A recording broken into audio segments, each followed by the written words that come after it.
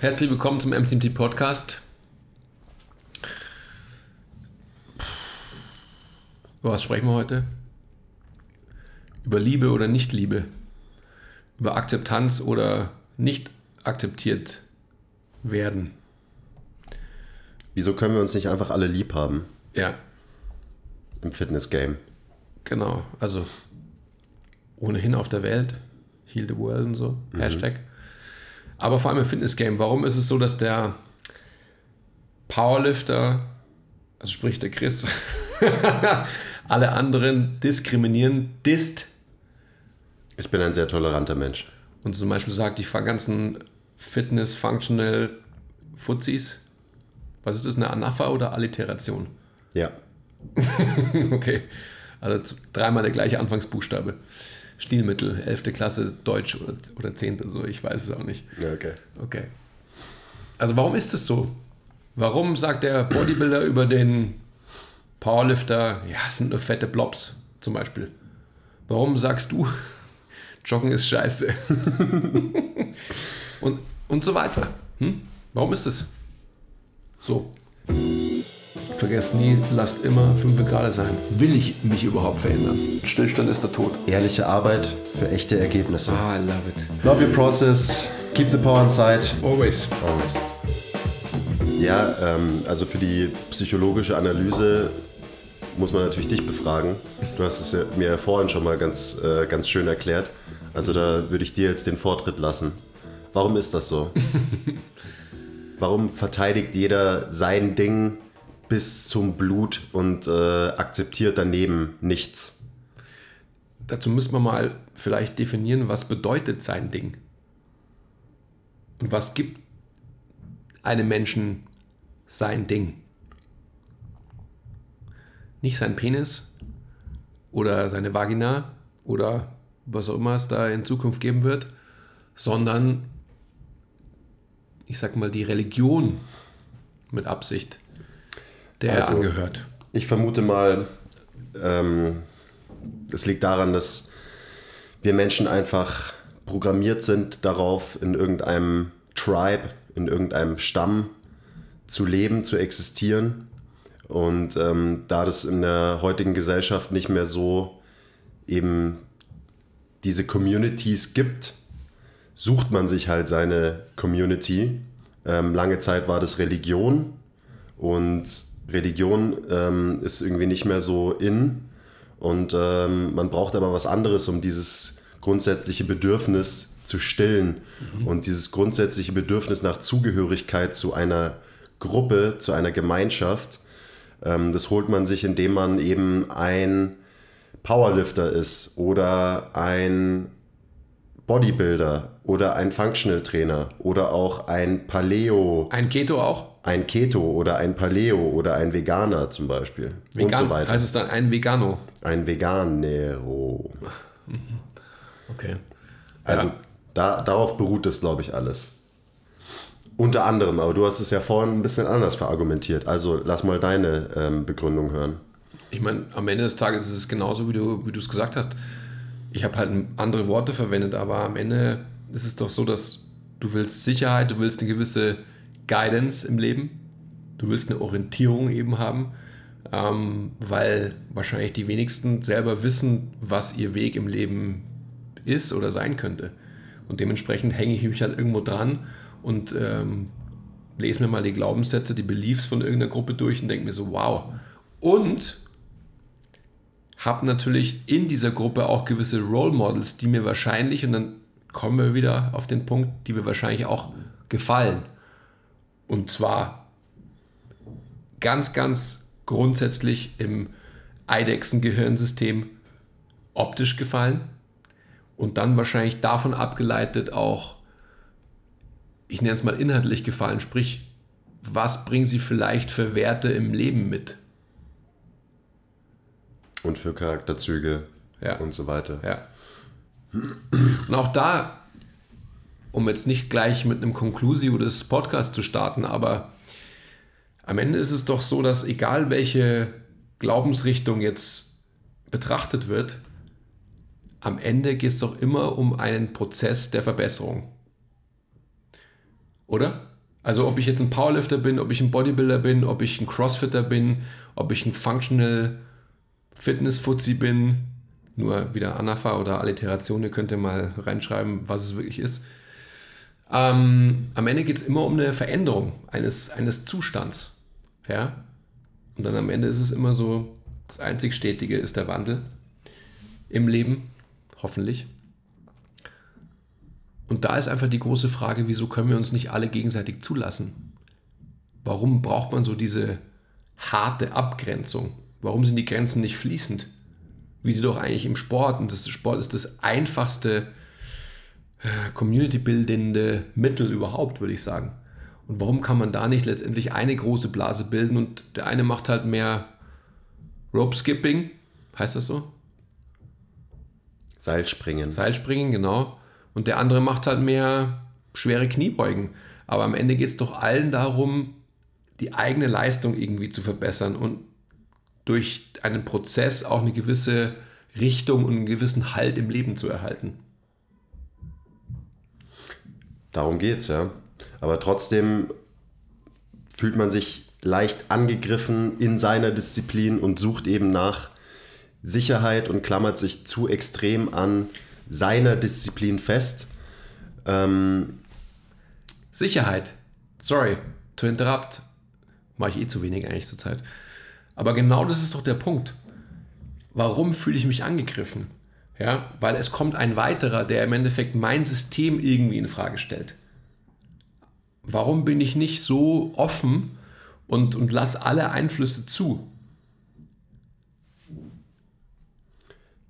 Weil man sich nicht sicher ist, vielleicht? Mhm. Mhm. Lass uns beim Sport bleiben, weil sonst wird es einfach wieder zu, sonst wird es zu diffus. Nochmal, am Ende geht es doch in allen sportlichen Disziplinen immer darum, dass man, man hat einen Prozess, man verfolgt einen Prozess mit dem potenziellen Outcome der Veränderung. Oder? Ja, das ist am Ende Training. Ich meine, das sind ja alles verschiedene Trainingsstyles, die wir jetzt mal so exemplarisch dargestellt haben. Und da geht es einfach darum, dass man besser wird über Zeit und vielleicht auch seine ähm, Wettkampfleistung verbessert über Zeit. Die Sache ist auch so ein bisschen in diesem ganzen Fitness-Game, dass, also klar gibt es da Wettkämpfe im Bodybuilding und im Powerlifting, aber und im CrossFit und so weiter, aber mehr oder weniger ist es ja das Training an sich immer ein Kampf gegen dich selbst. Was eigentlich dazu führen sollte, oder? Dass man toleranter ist den anderen Disziplinen gegenüber, weil man ja automatisch irgendwie Empathie hat für den, ähm, also der Crossfitter versteht den Struggle des Bodybuilders, der Muskeln aufbauen will, versteht den Struggle des Powerlifters, der stärker werden will. Aber trotzdem klammert man sich oft an seiner Disziplin fest und ist eben nicht tolerant. Ich spreche da aus Erfahrung.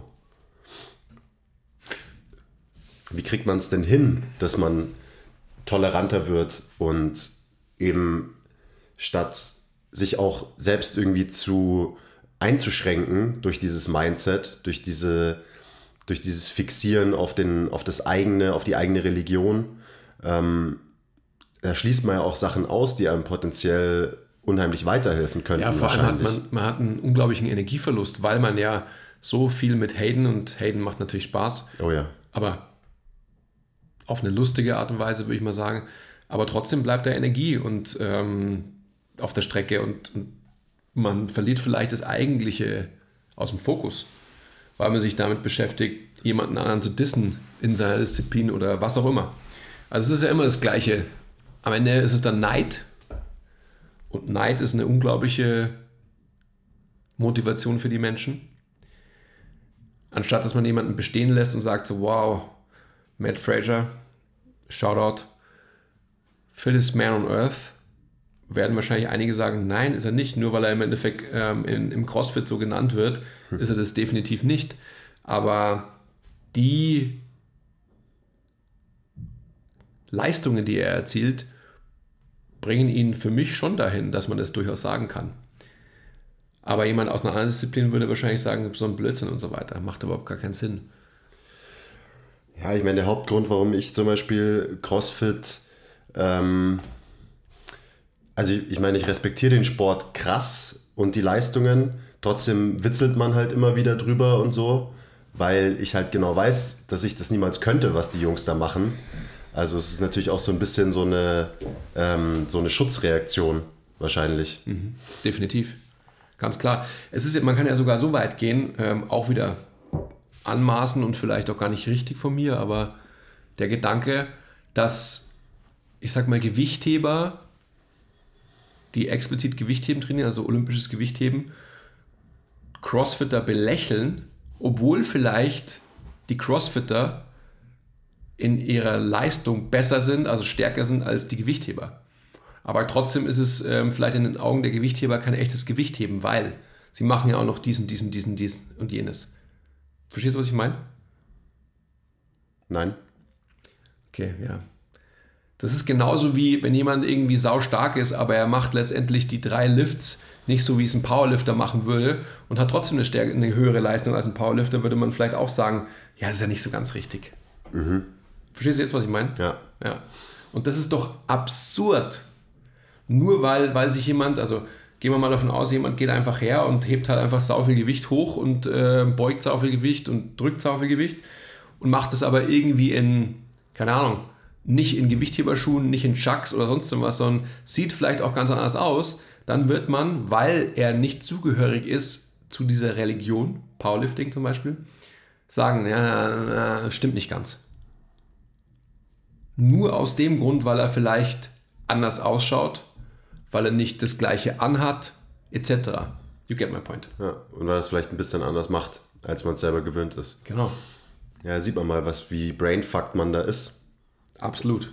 Definitiv. Und oft ist es einem, glaube ich, gar nicht bewusst, wie intolerant man da ist. Also gerade in der, in der Trainingswelt. Also wie gesagt, ich war auch noch es wird langsam besser, aber ich war auch auf jeden Fall schon mal ein krasserer Hardliner, als ich jetzt bin. Mhm.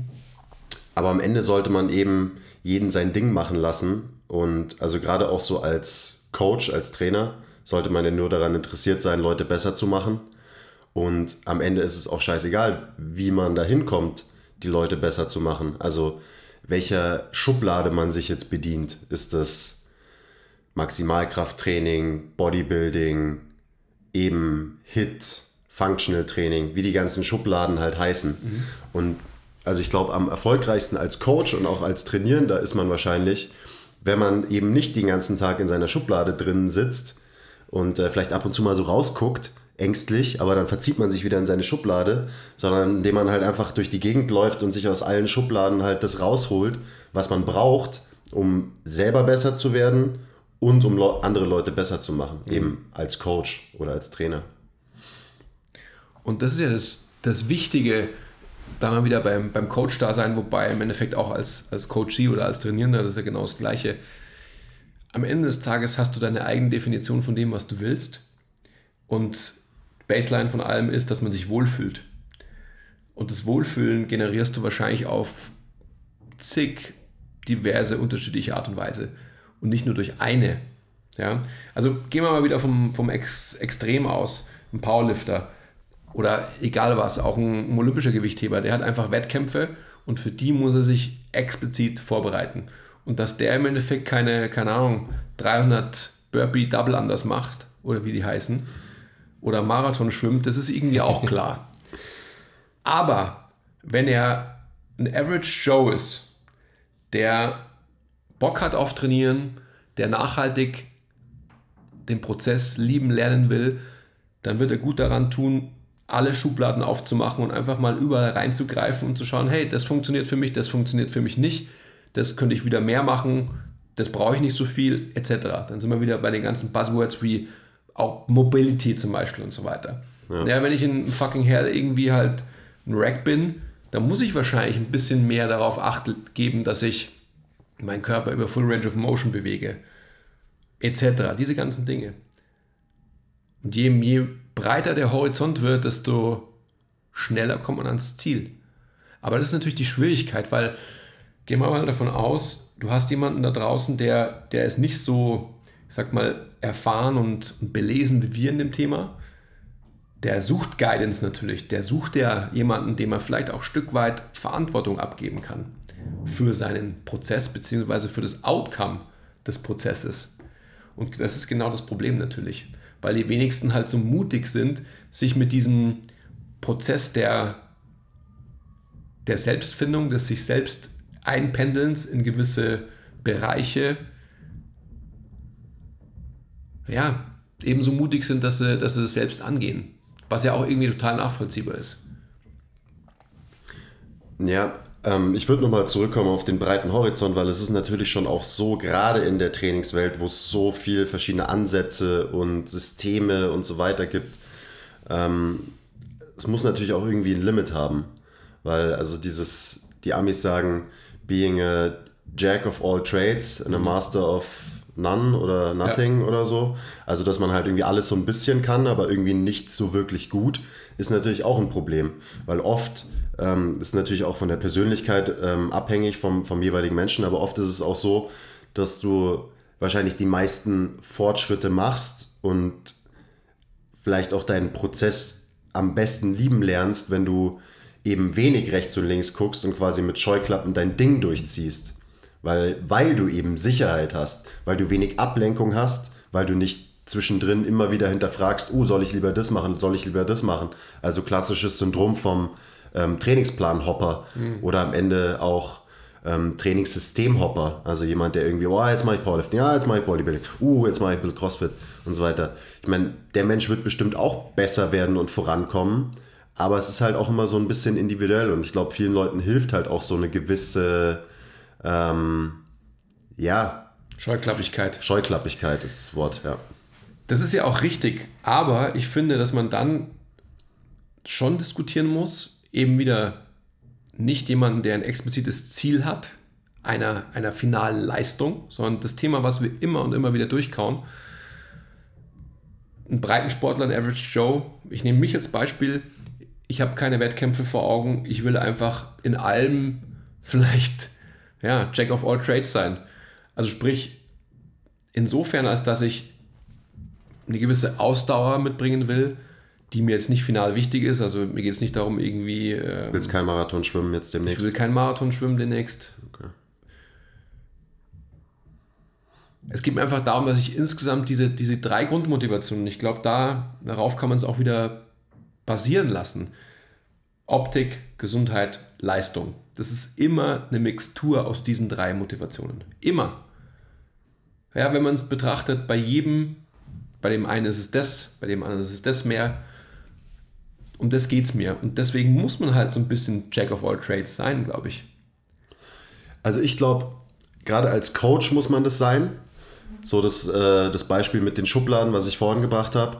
Ähm, das ist ja auch ganz klassisch, wenn, wenn wir Leuten erzählen, was wir machen, dann werden wir gefragt, ja, macht ihr, macht ihr TRX, macht mhm. ihr Kettlebell-Training und so. Und dann ist die Antwort halt immer, ja, wir machen das, was funktioniert. Ah, I love it. Wir haben, äh, wir haben Kettlebells im Gym, wir haben wenn man so, wenn man es so formulieren will, wir haben auf jeden Fall immer Elemente aus dem Functional Training in unseren Sessions mit unseren Leuten. Wir machen Mobility, wir machen, ähm, wir haben Elemente aus dem Powerlifting, aus dem Bodybuilding. So, wir bedienen uns halt einfach aus allen Schubladen, ähm, weil so wird man am Ende ein guter Coach und nicht, wenn man ähm, ganz strikt auf sein eines System festgefahren ist und dein Gegenüber aber vielleicht einfach was anderes braucht als diese eine Sache, die für dich Religion ist ja. und die für dich einfach so jeder machen muss. Ganz wichtig, ja.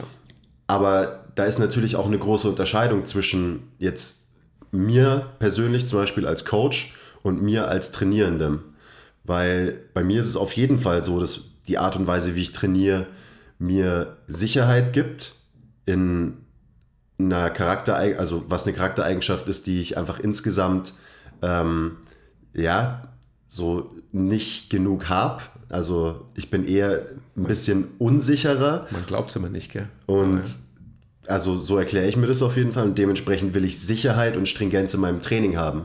Und deswegen liebe ich auch meinen Trainingsprozess, weil das immer wieder was ist, zu dem kann ich zurückkehren. Ich weiß, ich mache heute das und das, ich mache heute das und das, nächsten Mittwoch mache ich das und das. So, da habe ich einfach Bock drauf. Da kann ich mein Gehirn ausschalten, da muss ich nicht groß drüber nachdenken. Das heißt, als Trainierender habe ich schon eine große Scheuklappigkeit. Ist ein Wort übrigens, habe es gerade nachgeschaut. Ähm, aber als Coach muss ich natürlich immer dem widerstehen, meine eigenen persönlichen Werte im Training meinen Coaches aufzuzwängen. Du bist schon ziemlich weit als Coach dann. Und das ist, glaube ich, das, was viele nicht hinkriegen, viele Coaches. Mhm. Die halt den neuen Shit entdecken, der für sie super funktioniert hat. Zum Beispiel einen Trainingsplan oder irgendwie einen Set- und Rap-Scheme. So, boah, ich habe German Volume Training gemacht und boah, es war das krasseste überhaupt. Deswegen müssen es jetzt auch alle meine Coaches machen. Ja, oder das, was sie halt die letzten zwei Wochen in, in einem Seminar gelernt haben. Genau, der Klassiker.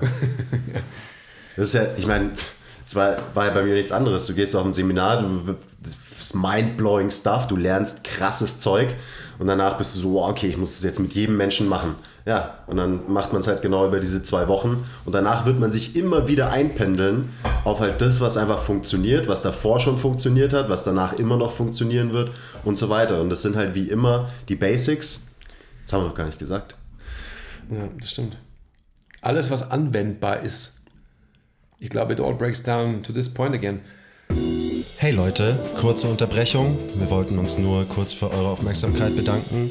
Und ähm, bitte zeigt uns etwas Liebe in der Form von Likes, Abos, Kommentaren, Bewertungen, weil wir lieben euch auch. Oh, ich kann nicht mehr. Und jetzt geht's weiter. Okay, danke. Das ist ja immer das. Ich würde das noch erweitern, was du gesagt hast, dass wir einfach die Schubladen aufmachen und sehen, dass wir für unser Gegenüber in der Verantwortung als Coach das machen, was unser Gegenüber braucht, nicht was wir denken, was das Richtige ist.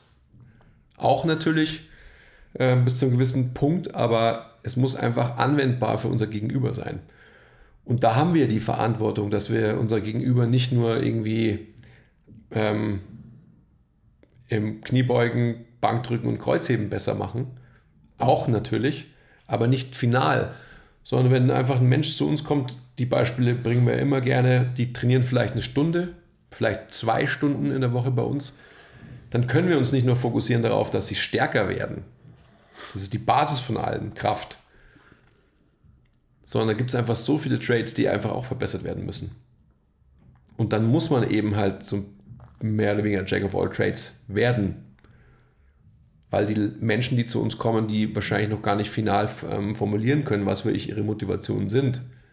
Also am Ende wird immer auch genannt, so ja, ich will auch besser ausschauen, aber die Eitelkeit spricht sich ja keiner selbst zu. Also es ist ja was Verwerfliches zu sagen, ich will besser aussehen. Was totaler Blödsinn ist. Weil jeder will das. Und dementsprechend muss man einfach schauen, was kann man in eine Stunde oder was kann man in zwei Stunden Training in der Woche reinpacken. Dass man letztendlich halt, wenn man eben kein Crossfitter ist, der wie viel 50 Stunden in der Woche trainiert oder wie viel trainiert die? ja ja, hey, und dazu zähle ich auch letztendlich halt alle regenerativen Maßnahmen. Das ist auch Training. Das kostet auch Zeit. Und die Leute, die ähm, normalerweise wahrscheinlich sich mit Training beschäftigen, also Average Joes, da zähle ich uns nicht dazu, weil wir auch schon mehr machen als der normale, die werden nicht irgendwie neben den zwei Stunden oder drei Stunden, die sie in der Woche trainieren, wirklich auch noch letztendlich eine Stunde für Körperpflege aufbringen, indem sie, keine Ahnung, stretchen, Eisbäder machen oder was auch immer sie als regenerative. Meal Prep oder Whatever. sich Ganz genau. explizit genau. um die Ernährung kümmern ja. und so weiter. Klar, ja, da, da fließt ja mega viel Lebensenergie rein, wenn man das so ernst nimmt wie wir. Und es gibt Leute, die nehmen es noch viel ernster als wir auf jeden Fall. Definitiv. Ich meine, da sind wir wieder bei dem Punkt auch, den wir auch immer wieder haben, weil du gerade sagst, Meal Prep und dass wir keine Kostverächter sind und so weiter und so fort. Also wir sind die, die einfach sehr, sehr gerne konsumieren in jeglicher Hinsicht. Und dementsprechend werden wir auch ähm, nicht mit Single-Digit Körperfett rumlaufen, sondern wir werden immer gute hm, zweistellige haben. Das heißt nicht, dass wir über 20 sind, aber, aber halt auch nicht 10 oder weniger. Außer der Basti ist wieder mal sehr eitel und macht ähm, 18 Wochen zuckerfrei oder so. Und das ist genau der Punkt. Also so, um wieder den Bogen zu spannen zu den, zu den Religionen. Alles ist richtig. Also auch mal, gerade wir als, als Fleischesser, die wir einfach wirklich gerne Fleisch essen, haben auch immer wieder Tage dabei. Also das hatte ich ja auch, wo ich einfach mal mich er, ergan, er, wie heißt das? Ergan? Vegan, ergonomisch ernährt habe. Also vegan wollte ich sagen. Einfach um, um mal zu schauen, wie das ist auch und so weiter. Und es gibt immer noch Tage, wo ich einfach ähm, mich vegan ernähre, nicht, nicht proaktiv, sondern weil es einfach so ist, dass die Lebensmittel, die ich an dem Tag konsumiere, halt letztendlich keine tierischen sind zum Beispiel. Ja, es macht ja auch Spaß. Also egal, ob es jetzt in der Ernährung ist oder im Training, einfach mal zwischendrin so ein bisschen frischen Wind reinzubringen, was Neues auszuprobieren. Definitiv. So, ähm, ich habe auch letztens verrückt, ich weiß, bin ich auch aus meinem Trainingsplan ausgebrochen, habe halt eine random Session trainiert und habe einfach mal eine Session wirklich komplett wie ein, äh, wie ein Bodybuilder halt einfach krass gepumpt, habe Giant Sets gemacht, habe mal wieder Arme trainiert und so, habe gemerkt, dass ich das alles nicht kann, weil ich es nie mache, so, dass ich null Muscle-Mind-Connection habe. Zum Beispiel dieses äh, und, und, die Erkenntnis, dadurch, dass ich es ausprobiert habe, hat mich gleich wieder scharf drauf gemacht, mal wieder so zu trainieren. Und so in meinem Kopf habe ich dadurch quasi schon beschlossen, dass meine nächste Trainingsphase, wenn ich jetzt, äh, jetzt meinen aktuellen Plan halt noch zwei, drei Zyklen trainiert habe, dass ich dann mal wieder halt wirklich wie ein Bodybuilder trainieren will. Einfach nur, weil ich auch einen neuen Input brauche. Hm. Und äh, ich werde dann, vielleicht mache ich auch mal einen Monat einfach nur das, worauf ich Bock habe im Gym, ohne jegliches System. Ähm, schauen wir mal. Aber ich meine, man braucht halt ab und zu irgendwie was, was Neues. Das heißt, selbst in meiner, ähm, in meiner Scheuklappigkeit und Sturheit, die ich habe in meinem Training und die mir auch gut tut und die ich auch will, äh, brauche ich trotzdem ab und zu eine Veränderung. Weil, ich meine, Stillstand ist der Tod, das hatten wir schon. Es geht immer um Wandel. Und natürlich ist auch Wandel, wenn ich äh, mich in einem Monat dahin arbeite, dass ich irgendwie zweieinhalb Kilo mehr bench oder so. Aber äh, es wird halt auch irgendwann alt. Vor allem, wenn man nicht das explizit, äh, explizite Ziel hat, an einem Wettkampf teilzunehmen und sich mit anderen zu messen. Weil es am Ende immer nur ein Kampf gegen dich selber ist, Training.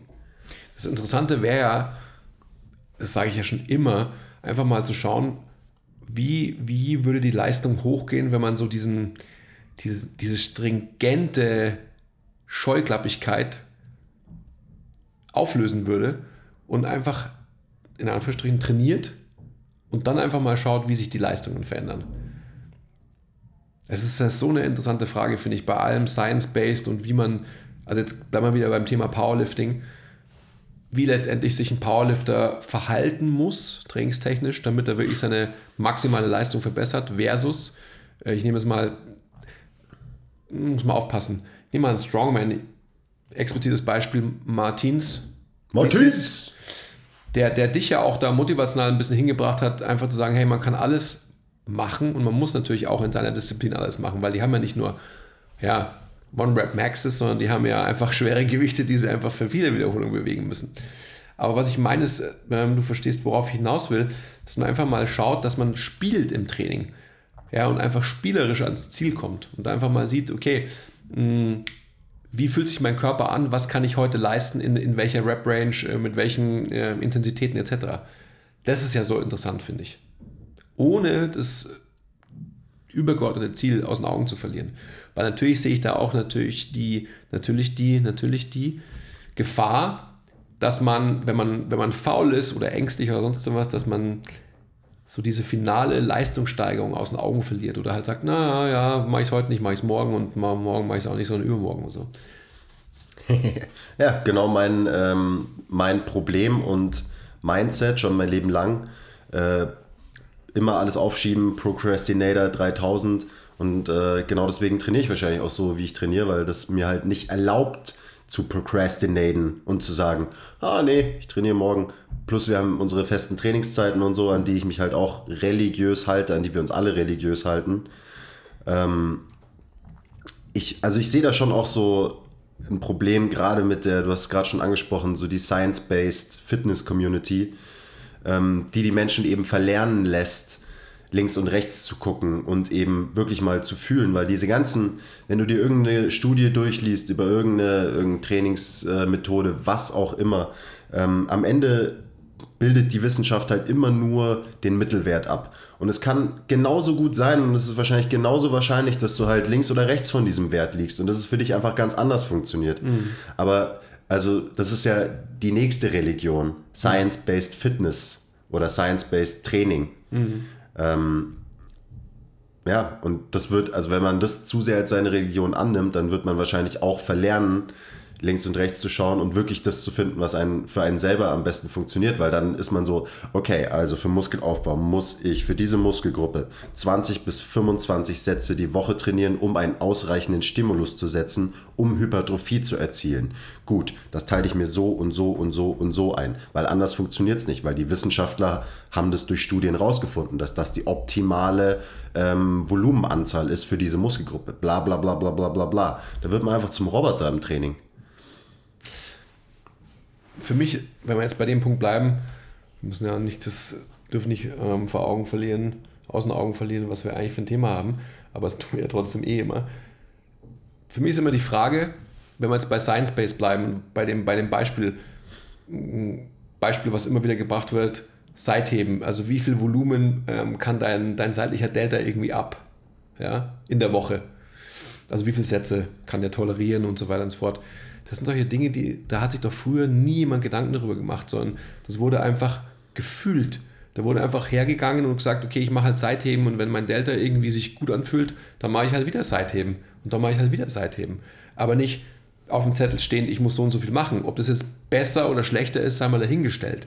Aber genau das, was du sagst, dieses Fühlen und dieses, was ich vorhin gesagt habe, dieses Spielen, das wird einem abgelernt.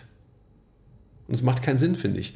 Weil dann wirst du einfach irgendwann mal wieder an den Punkt kommen, wo einfach die Prozessliebe keine Liebe ist, sondern Prozesshass. Weil es einfach kein, keine spielerische Komponente gibt. Und der Mensch ist ein Spieler. Der wird immer spielen wollen. Ja. Hass und Druck, Genau. den Prozess machen zu müssen, Ja. nicht ihn wirklich machen zu wollen. Ja, ja. Und das, das, also haben wir in den letzten Podcasts auch immer wieder drüber geredet. Das ist auch so, ich meine, das klingt vielleicht immer so romantisch, ja, den, den Prozess lieben, die Prozessliebe. Und das heißt auch nicht, also jetzt zum Beispiel für mich, dass ich jedes einzelne Training, was ich mache, irgendwie krass feier und mega Bock drauf habe. Manchmal habe ich in meinen drei Sessions die Woche dreimal keinen Bock auf Training. Trotzdem liebe ich den Prozess, verdammt nochmal. Darum geht es nicht unbedingt. Und kurz abgedriftet, wieder zurück zu deinem Beispiel. Ich meine, Bodybuilder sind ja auch das beste Beispiel. Ich, gerade von früher die Bodybuilder, da hatte jeder irgendwie sein Ding. Und der eine hat High Intensity und der andere hat High Volume trainiert. Und am Ende standen sie auf der Bühne nebeneinander und waren beide Monster. Ähm, also es gibt viele ähm, Wege, die nach Rom führen, also viele verschiedene Arten und Weisen, wie das alles funktionieren kann. Aber ja, die haben es halt immer für sich selber rausgefunden. Und ähm, ja, Arnold hat bestimmt, also hat sich wahrscheinlich nicht hingerechnet mit dem Taschenrechner und seine wöchentliche Tonnage äh, für die Quads ausgerechnet oder so. Sondern er hat einfach geballert und hat gefühlt und hat gemerkt, wann er wieder weiterballern kann und wann er an den Strand gehen sollte, ein Kiffen und ein paar Torten essen sollte. Oh, Das gibt's heute nicht mehr. wahrscheinlich schon. Aber man darf es nicht mehr sagen. Also, ja, ja, gerade bei dieser ganzen äh, Wissenschaft, Science, bla bla bla, wo ich ja auch eine Zeit lang krass reingedriftet bin und das als den Heiligen Gral angesehen habe, ähm, wo ich inzwischen erkannt habe, dass es auf keinen Fall der Heilige Gral ist. Ähm, besonders nicht für, ein, für echte Prozessliebe und ein entspanntes Leben. Und das gilt auch zum Beispiel besonders für Ernährung, wo halt die ganzen science-based, makrozählenden IIFYM-Typen ähm, sich halt immer, inzwischen wird sich schon lustig gemacht über ähm, wie heißt, intu intuitives Essen, was wieder eine Schublade ist, wo ich so, wo ich mir wirklich nur an den Kopf langen kann und so, was soll denn intuitives Essen sein? Ja, Essen halt. Ja, halt ganz normal essen. Das, was wir halt schon seit 200.000 Jahren machen. Wir essen halt, um, damit wir leben können. So, und dann kommt der Science-Based Dude und macht sich darüber lustig, dass Leute halt einfach essen. Und dass man lernen sollte, einfach zu essen. So, hallo, das ist das Normalste von der Welt. Du da drüben, du hast vielleicht eine leichte Störung, weil du jedes einzelne Lebensmittel auf eine Waage setzt und äh, keine Ahnung, dein Abendessen eine abgewogene Schale mit Brokkoli, ähm, drei Stücke Schokolade in einer anderen Schale und äh, zwei Putenbrüste sind. so wo einfach jegliches Leben und jeglicher Spaß aus der Ernährung rausgenommen ist. So, das ist, das ist nicht der richtige Weg. Aber auch wieder, da sind die, die haben vielleicht viel Gewicht verloren, waren stark übergewichtig. Natürlich sehen die das als ihre Religion und ihren heiligen Gral an, dann Kalorien zählen und Science-Based Nutrition und whatever. Hm. Das heißt aber nicht, dass es irgendwie normal ist oder der richtige Weg für, für alle. Gegenteil. Also wieder die Gegenüberstellung von verhaltenstherapeutischer Intervention versus Tiefenanalyse. Warum brauchst du das überhaupt? Oder? Ja. ja, Leute, es ist halt einfach, es ist, ja, genau. im, es ist immer das Gleiche am Ende. Immer. Ist es einfach. Und jemand, der IYFMH macht, der wird es auch machen für eine gewisse Zeit und dann wird er wieder was anderes machen. Das ist einfach Fakt. Oder man ist halt so gestört, dass man es halt gar nicht mehr anders kann und irgendwann es halt wirklich nicht mehr anders hinkriegt und das halt ewig so macht. Ja, aber die werden dann einfach, also, sorry, alles anmaßen und so weiter, aber die Erfahrung zeigt und gibt mir meistens recht. Die werden halt dann in irgendein Binging-Muster verfallen oder wenn ihre eigentlichen Probleme oder Issues, die sie halt in ihrem Leben haben, in irgendeine andere Verhaltenstragödie lenken. Das ist einfach so. Wahrscheinlich. Mei, ist, das hört sich immer so, so an, als hätten wir die Welt verstanden und so weiter, aber ähm, haben wir auch nicht. Wir haben gerade vorher, bevor wir das Podcast gestartet haben, habe ich gerade ganz tief erzählt, was mich gerade sehr belastet. Und wir sind von nichts gefeit, genauso wenig wie ihr da draußen. Aber am Ende des Tages müssen wir halt einfach sehen, dass wir fünf gerade sein lassen und einfach das Leben leben und Spaß haben. Und nicht Kalorien zählen zum Beispiel. Was alles seine Berechtigung hat, zeitweise, um vielleicht mal zu verstehen, was bedeutet überhaupt zweieinhalbtausend Kilo, aufzu, Kilo zu heben, zweieinhalbtausend Kilokalorien zu essen oder 5000 Kilokalorien zu heben, etc. Aber am Ende geht es einfach darum, wie immer den Prozess zu lieben und einfach Bock darauf zu haben. Und zwar Bock aufs Leben zu haben. Und da ist Sport oder Ghana zu sein immer nur eine Facette davon. Das kann man alles machen und es wird immer, immer temporär sein. Das zeigt die Erfahrung. Und was auch so wichtig ist, ist, dass man die anderen Leute um sich rum einfach sein lässt. So, wenn der eine seinen Prozess liebt und der Prozess heißt CrossFit, so be it. Geil für ihn. Mhm. Das heißt aber nicht, dass man ihn haten muss. Und ich weiß, dass ich, ähm, dass ich der Hater Nummer 1 bin. Ähm, aber ich bin ein sehr toleranter Hater. und ich, und ich werde ich werd tatsächlich auch äh, immer toleranter. Es gibt Sachen, die, die mich krass aufregen. Da werde ich auch ähm, kein Blatt vor den Mund nehmen, weil manche Sachen sind einfach Bullshit und dann werde ich das auch genauso sagen. Ähm, aber gerade so im Training soll doch jeder am Ende machen, was er will. Solange er Bock drauf hat, solange es ihm Spaß macht. Ähm, ja, habt euch doch einfach alle lieb. Word. Word. Ja, es ist so. Und wenn wir weiterhin haten über Joggen zum Beispiel, Joggen. dann basiert es nur auf dem, dass wir da einfach Bang for Your Buck Ratio sehen. Also wenn jemand wirklich irgendwie zwei Stunden in der Woche sich bewegen kann, dann sollte er nicht nur zwei Stunden joggen, weil es einfach nicht genügend Haken setzt in dem, was er als Mensch körperlich irgendwie erreichen sollte oder verbessern sollte oder pflegen sollte. Das ist genau der Struggle, den wir permanent haben, den wir in unseren Team-Meetings dauernd wieder durchdiskutieren. Wie können wir unseren Leuten den meisten Wert bieten in der kurzen Zeit, wo wir sie bei uns haben? Mhm. Ähm, und das ist einfach viel vom Training. Und wenn man äh, mehr Zeit hat, dann kann man auch mehr Stuff machen. Und dann kann man vielleicht auch Sachen machen, die einen nicht voranbringen. Aber das ist halt, das ist genau das, was wir vorhin auch schon hatten. Wir versuchen einfach, uns aus den Schubladen möglichst das Beste zusammenzusuchen, damit ja, wir unsere Leute, die wir coachen, am besten und effektivsten voranbringen. Und das muss nicht Kettlebell-Training oder TRX oder Functional Training sein, sondern das kann alles auf einmal sein. Das ist es auch bei uns. Und äh, das wird wahrscheinlich auch immer so sein. Klar hat jeder seine Vorstellungen, was zum Beispiel, was sollte jemand können im Training und so weiter. Das sind ja auch immer so Sachen. Ähm, was hatten wir am, am Montag?